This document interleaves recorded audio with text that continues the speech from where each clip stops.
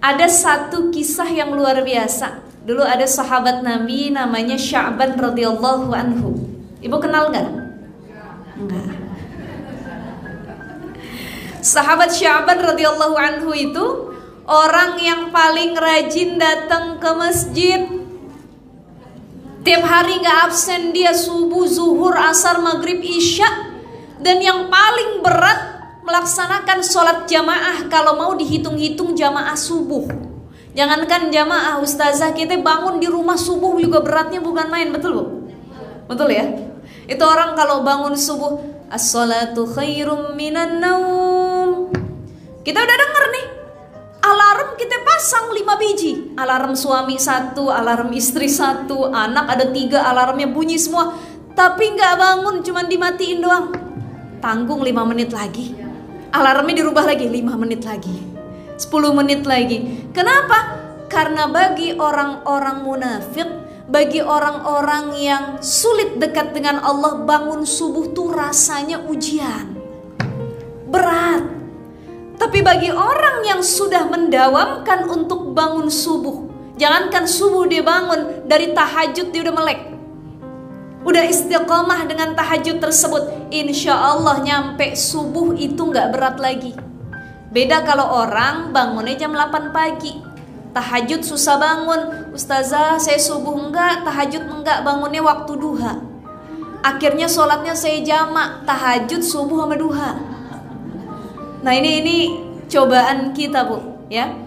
Jadi orang yang memperbaiki sholatnya dari waktu subuh, maka hidupnya akan Allah perbaiki juga.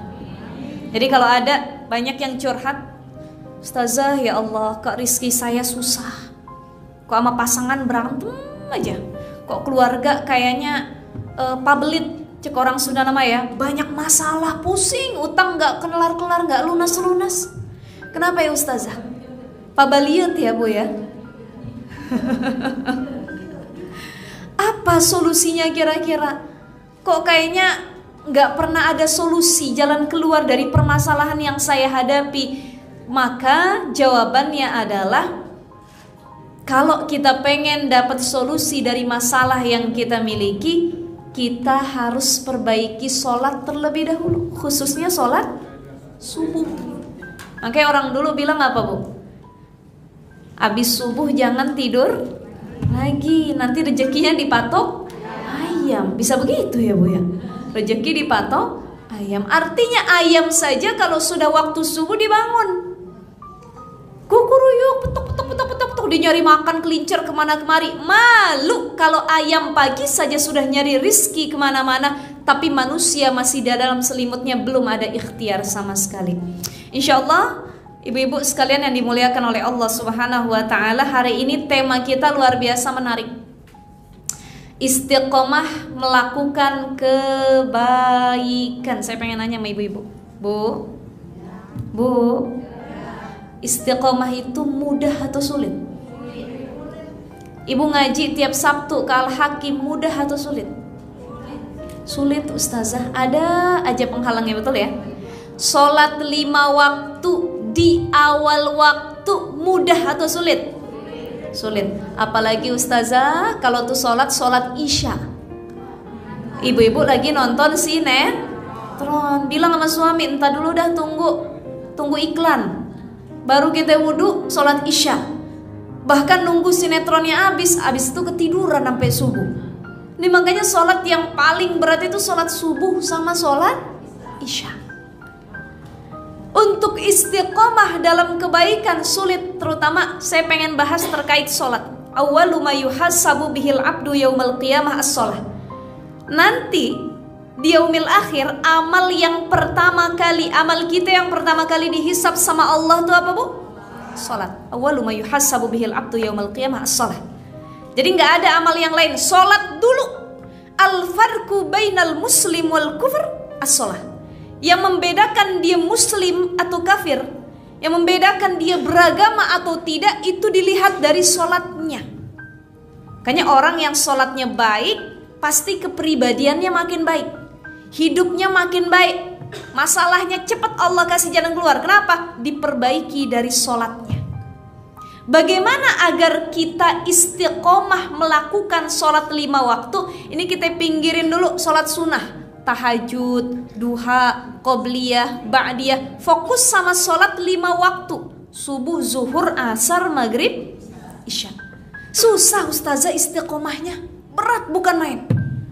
Ya. Apalagi untuk khusyuk dalam sholat juga sulit. Lalu apa kiat-kiat agar kita istiqomah dalam sholat yang pertama? Jadikan sholat itu kebutuhan bukan kewajiban. Bu, Bu, selama ini kita yang anggap sholat butuh apa wajib? Wajib ya. Kalau kita nggak sholat, dapat dosa. Tuh berarti tingkatan sholat e, di sisi kita masih rendah.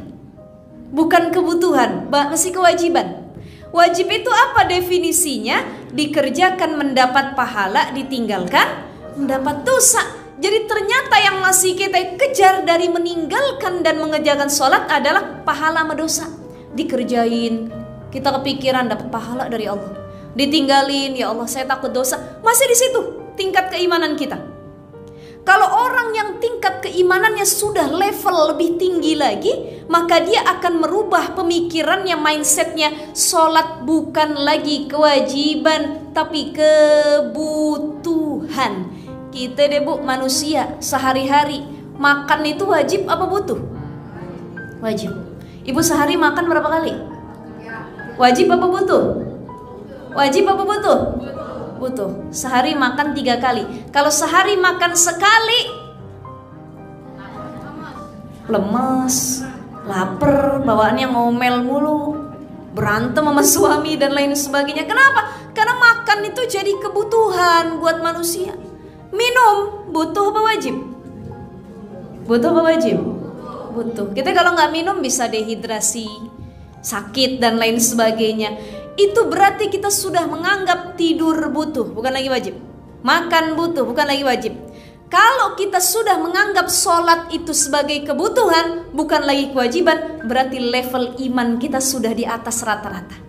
Jadi insya Allah yang hadir, yuk kita rubah Sholat kita bukan lagi kewajiban tapi kebutuhan. Kalau makan asupan jasmani. Sholat, zikir, baca Quran, asupan ruhani. Kita nggak sholat, kita belum sholat, ada yang kurang. Kayak hati kita belum dikasih makan, betul nggak bu? Kita belum zikir, belum baca Quran, ada yang kurang ya Allah. Kok ada yang kosong di hati saya? Kenapa hati saya belum dikasih makan? Jadi sholat itu makanan ruhani. Butuh kita. Kita ninggalin sholat, ada yang hilang rasanya. Kita lalai dalam sholat, berbeda rasanya vibes kehidupan kita tuh yang harus kita ubah pertama jadikan sholat sebagai kebutuhan siap bu insya Allah yang kedua agar sholat kita khususnya sholat lima waktu nih yang sunnah pinggirin dulu, yang wajib ini. Bagaimana agar sholat wajib kita bisa diistiqomahkan? Ada orang sebenarnya dia tahu kewajibannya lima, lima kali sholat dalam sehari, tapi yang dikerjain cuma dua. Misalkan zuhur sama asar. Atau asar doang dia kerjain. Ada muslim yang dia beragama cuma KTP Islamnya. Betul nggak bu? Begitu ditanya agamanya apa bu? Islam. Nih lihat KTP saya Islam. Tapi sebenarnya dia bukan muslim yang sejati. Kenapa sholatnya masih belang bentong, ditinggalin? Gimana biar istiqomah yang kedua? Fahami bahwa sholat yang kita lakukan adalah momentum curhat paling dekat dengan Tuhan atau Allah Subhanahu wa taala. Jadi sholat itu adalah waktu pendekatan sama Allah. Nih ibu sujud. Ibu sujud. Ketika sujud, Banyakin baca doa. Apa doanya Ustazah? Subhana rabbiyal a'la wa bihamdi. Doa yang lain boleh? Boleh. Rabbil firli wali walidayya warhamhuma kama rabbayani saghir. Doa yang lain lagi boleh Ustazah? Boleh. Hasbunallah wa ni'mal wakil, ni'mal maula wa ni'man nasir, la haula wa la quwata illa billahil aliyil azim. Silahkan. Jadi waktu sujud adalah akrab waktu yang paling dekat dia sama Allah. Jadi jangan sia-siain min atharis sujud orang yang rajin sholat. Nih, kita bisa lihat kalau kita ketemu orang, lihat cahaya di wajahnya. Nih, kayak ibu-ibu yang hadir mukanya bercahaya semua. Di bawah lampu soalnya. Tapi insya Allah min atharis sujud semuanya ya. Orang-orang yang rajin sholat semuanya gitu. Eh, orang-orang uh, yang rajin sujud bahkan melamakan sujudnya. Jadi orang yang rajin sujud itu banyak tandanya. Kalau laki-laki atau perempuan ya banyak katanya yang jidatnya hitam ya. Tapi nggak semua orang jidat hitam juga dia orang yang rajin sujud. Ada yang dia jidat hitam dia pentok, ya dan lain sebagainya maka ada ciri yang lain simahum fi wujuhim min athari sujud. Ada cahaya yang berbeda dari wajah-wajah yang lainnya. Jadi orang kalau dia ahli wudhu, ahli sujud, sholatnya awal waktu di awal waktu itu bisa ngelihat bu kita nih. Nih orang wajahnya nenangin.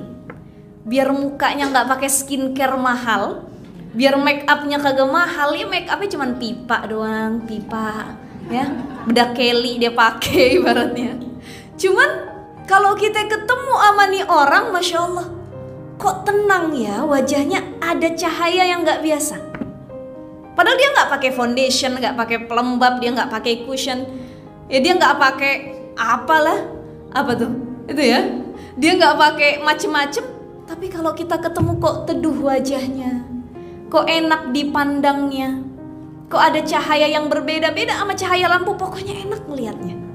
Bisa jadi orang ini adalah orang yang punya tanda tadi min asaris sujud. Rajin sujud, rajin wudhu. Ya, itu sahabat Nabi Bilal bin Rabah. Bilal bin Rabah ya. Ibu tahu ya? Suka denger ya?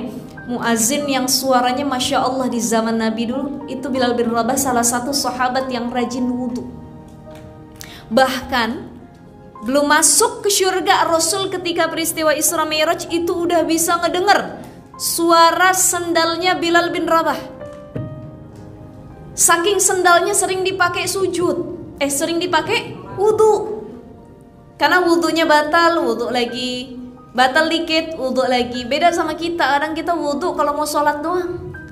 Ya, kalau mau yang lain-lain, udah deh, tar aja. Padahal berwudu itu disunahkan sebelum melakukan hal kebaikan termasuk sebelum tidur. Saya ada kemarin Bu baca di satu kisah ya di uh, TikTok itu ada yang berkisah kemarin Allah alam ini kisahnya nyata atau enggak tapi gara-gara dia mengamalkan sunnah wudhu sebelum tidur di situ Allah selamatkan dia dari perbuatan zina jadi kurang lebih cerita singkatnya seperti ini ini bisa kita ambil ibroh juga pelajaran ya Bu ya. Jadi kalau mau tidur jangan langsung tidur. Wudhu dulu, bersih-bersih dulu. Kemudian baca ta'awuz dulu, baca kul a'udzu nas, kul huwallahu ahad, kul a'udzu bil falaq, ayat kursi dan lain sebagainya. Jadi ada doa dulu, perlindungan sama Allah, doa mau tidur dan lain sebagainya. Ini ada kisah dulu.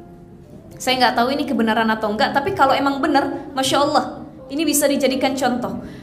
Uh, ada seorang laki-laki, dia sudah berkeluarga, punya istri, tapi keluarganya ini agamis, suami istri.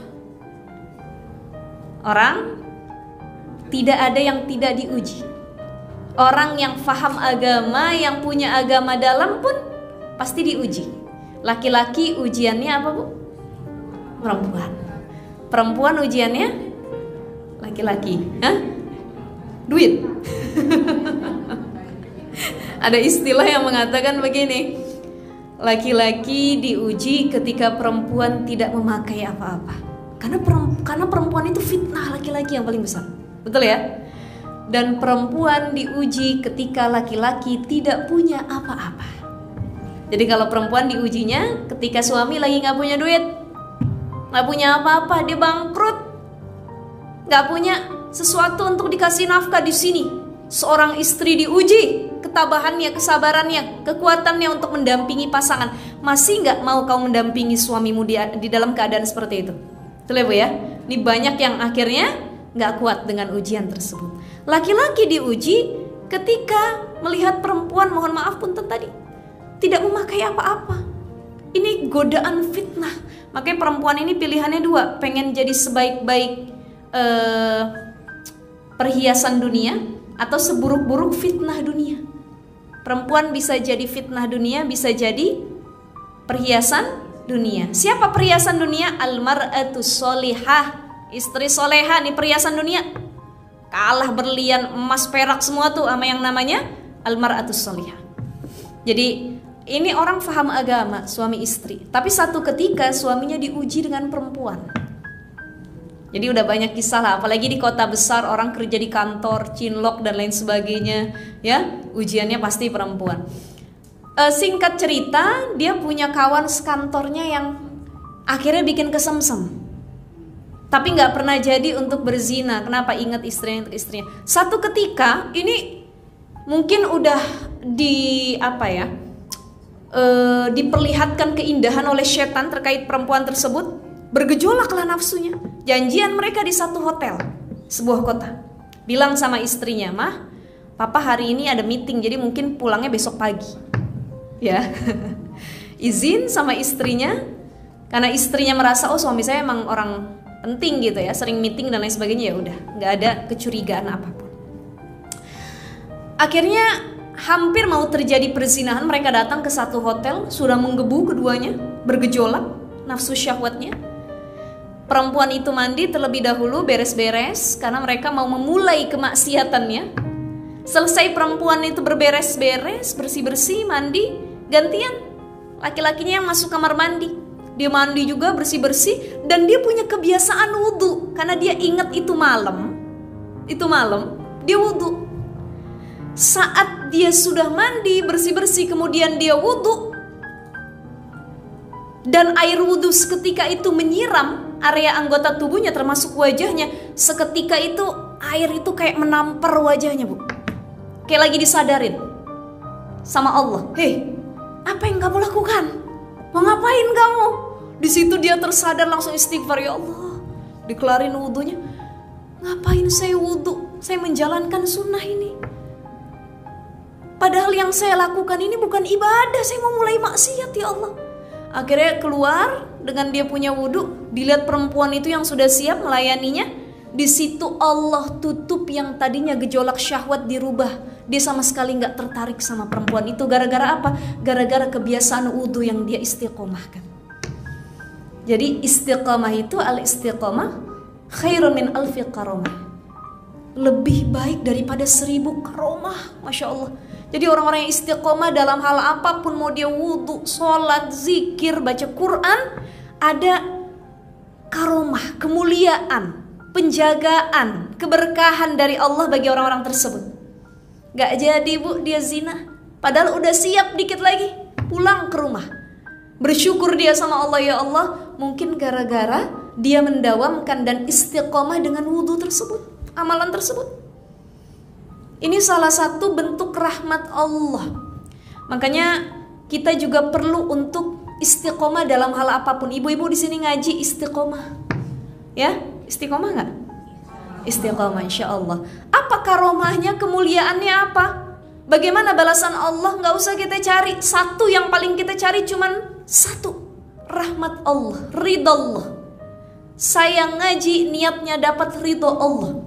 Kalau Allah udah ridho, jangankan akhirat diberi buat saya, dunia dan seisinya dikasih sama Allah. Tuh, jadi orang kalau ibadah niatnya bukan ngejar dunia lagi tapi fokus sama akhirat, tuh dunia ngikut. Tapi kalau ibadah amal apa pun yang kita niatin dunia, akhiratnya nggak bakal ngikut. Ibu niat sedekah, niatnya apa? Saya niat sedekah biar jadi orang kaya. Rupanya nggak kaya-kaya. Abis itu dia kagak mau sedekah lagi. Kok saya udah sedekah banyak tapi nggak kaya-kaya. Loh yang dicari dari ibadahnya adalah dunia. Coba kalau yang dia cari dari sedekah ridallah, dapat ridhonya Allah, dapat rahmat Allah. Allah sayang dengan ibadah yang saya lakukan. Kata Allah dari sedekah kamu bukan cuma rahmat yang aku kasih, tapi kamu pengen apa? Keberkahan rizki, ditambahnya rizki Allah kasih. Jadi dari sekarang yuk kita perbaiki uh, keistiqomahan salat kita yang pertama. Jadikan salat kebutuhan bukan kewa kewajiban. Yang kedua, fahami bahwa sholat itu adalah momentum paling dekat untuk curhat, mendekatkan diri kepada Allah Subhanahu wa Ta'ala.